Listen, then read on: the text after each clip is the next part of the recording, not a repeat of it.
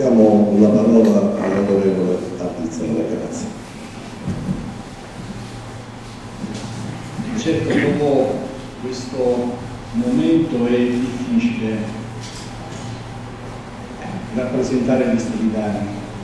Io non ho conosciuto il dottore Spadano, l'ho conosciuto attraverso il professore Cavalla perché ho visto il libro prima che venisse stampato e mi ha subito incuriosito l'accoppiamento fra la rappresentazione grafica e le storie.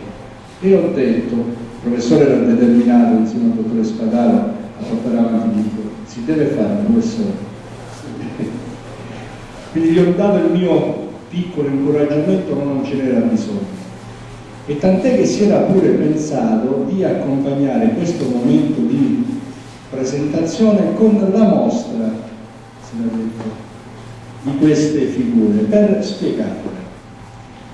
Vedete, c'è stata da parte del dottore Spadano e del professore Cavarra una grande intuizione, si parla delle figure quelle più emarginate però poi sono le figure che rimangono impresse nella storia di ognuno di noi e che ci vengono raccontate. Io avevo sempre sentito un po' per le formazioni di questo cameriere degli Herrera che si era candidato e che pensava di essere eletto. La storia, la figura di Anna, qualcuno che conosco più direttamente, che si vede per le nostre strade, qualcuno che ci ha lasciato eh, di recente sono quelle figure che ti rimangono impresse e che rappresentano anche qualcosa della nostra Messina, perché non dirlo? E quindi sia il dottor Spadaro che il professor Gavara hanno avuto questa felice intuizione. L'epopea popolare messinese. Il libro è un libro al quale credo molto, professore.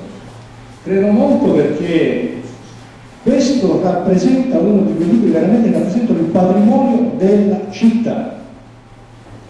E da lei ha parlato del dottore Spadaro, non ho avuto il piacere di conoscerlo personalmente e direttamente, ma il dottore Spadaro è in mezzo a noi, anche attraverso quel libro.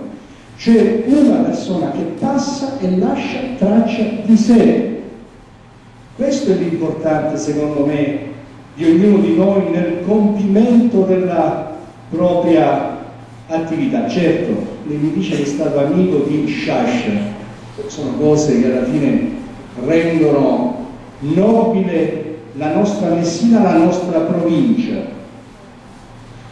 E allora io auguro che il libro possa essere diffuso il più possibile, chiaramente attraverso il passaparola, ma non solo può essere un libro da regalare durante le festività natalizie, ma non solo.